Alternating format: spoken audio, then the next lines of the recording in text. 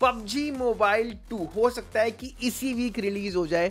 बात करते हैं TK daily episode number one के अंदर, पबजी मोबाइल के लेटेस्ट अपडेट्स के बारे में। Welcome back to the channel guys मेरा नाम है दिशांत और आप लोग देख रहे हो टीके डेली इंटरनेट का इकलौता ऐसा शो जहाँ पर एक गेमर यानी कि मैं देता है दूसरे गेमर को, यानी कि आप लोगों को बेस्ट गेम अपडेट्स शुरू करते हैं TK daily episode number one and I hope कि तुम लोगों को पता हो कि सिर्फ़ शो के नाम में डेली होने से रोज वीडियोस नहीं डालूँगा मैं। Okay PUBG mobile undoubtedly India की नेशनल गेम कहलाने लायक है एंड जब से ये बैन हुई है तब से कहना गलत नहीं होगा कि इंडियन गेमिंग कम्युनिटी के अंदर एक मायूसी की लहर सी दौड़ पड़ी है. बट वी ऑल नो कि पबजी मोबाइल रिलीज़ होने के बारे में जितनी भी चीज़ें अभी तक सामने आई है खासकर इंडिया के अंदर वो सिर्फ़ लीक्स एंड रूमर्स हैं उनको हम देखकर सिर्फ़ अपने दिल को तसली दे सकते हैं और कुछ नहीं. सो so, एक बार बात करते हैं कि रियल डील क्या है? Real state of PUBG mobile क्या चल रहा है फ़िलहाल इंडिया के अंदर?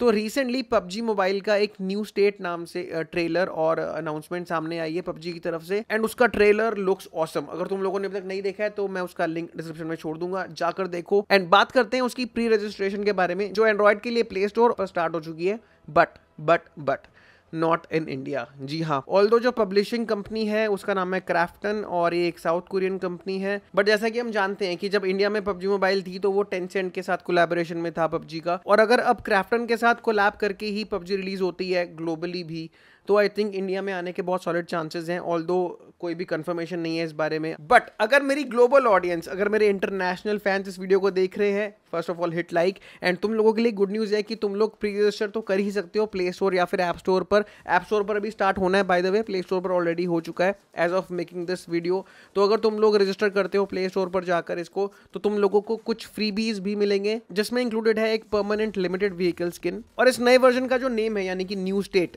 वो काफ़ी सजेस्टिव है गेम के कंसेप्ट के बारे में, क्योंकि गेम सेट होगी ट्वेंटी में टू ईयर में एंड उसी के हिसाब से वेपनरी और व्हीकल्स वगैरह होंगे। काफ़ी फ्यूचरिस्टिक से दिखने वाले ग्रेनेड्स हैं गन्स हैं, और ट्रेलर के अंदर जो कार दिखाई है ना, वो भी ऐसा लग रहा है कि टेस्ला का कोई फ्यूचर मॉडल होगा। एंड सबसे कूल मुझे ये बात लगी कि ड्रोन्स भी यूज़ कर सकते हैं हम अपने दुश्मनों पर निगाह रखने के लिए। बट डोंट वरी ऐसा नहीं है कि गेम प्ले मैकेनिक्स के अंदर बहुत ड्रास्टिक चेंजेस कर दिए गए हैं। अगर तुम लोगों ने कभी भी पबजी मोबाइल खेली है, थोड़ा सा भी फेमिलियर हो गेम के बेसिक कंसेप्ट के साथ तो तुम लोग इस गेम को भी इजीली खेल लोगे। एंड जैसा कि मैंने वीडियो की स्टार्टिंग में ही बोला था कि इस वीक ही रिलीज़ हो सकती है, ऐसे लीक्स सामने आए हैं ऑल तो कुछ कंफर्म नहीं है एंड ना ही पबजी मोबाइल की तरफ़ से कुछ कंफर्मेशन आई है रिलीज़ डेट के बारे में। But let's keep our fingers cross and I wish की इसी वीक रिलीज़ हो जाए एटलीस्ट ग्लोबली इंटरनेशनली तो रिलीज़ हो ही जाए सो दैट इंडिया में रिलीज़ होने के चांसेस भी और ज़्यादा बढ़ जाएँगे एंड इंडिया की रिलीज़ डेट भी इसी वजह से और पास आ सकती है। सो पबजी मोबाइल के बारे में जितने भी अपडेट्स थे अभी तक, वो मैंने सब आपको दे दिए हैं।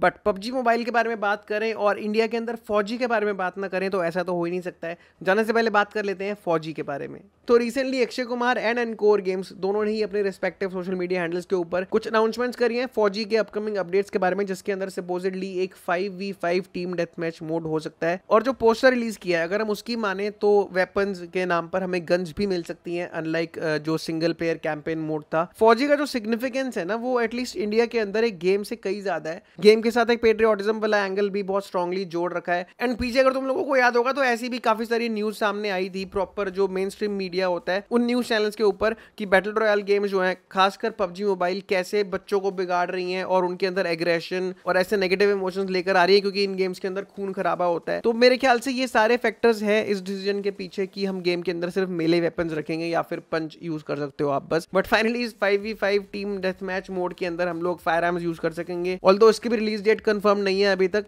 बट लेट्स होप कि ये भी जल्दी आए। So that is it for TK daily episode number one and जितने भी आर्टिकल्स मैंने रेफर करे हैं आप तक ये इन्फॉर्मेशन लेकर आने के लिए, उन सबके लिंक्स डिस्क्रिप्शन में आप लोगों को मिल जाएँगे। उसके अलावा अगर आप लोगों को मेरा गेमिंग सेटअप अच्छा लगता है और इसमें से कुछ भी परचेज करना हो, जैसे कि प्ले स्टेशन फोर एक्सबॉक्स या फिर ये जो वॉलपेपर मैंने यूज़ किया पीछे, उन सबके एफिलिएट लिंक्स भी डिस्क्रिप्शन में मिल जाएँगे। मिलते हैं अगली वीडियो में, तब तक के लिए आदियोस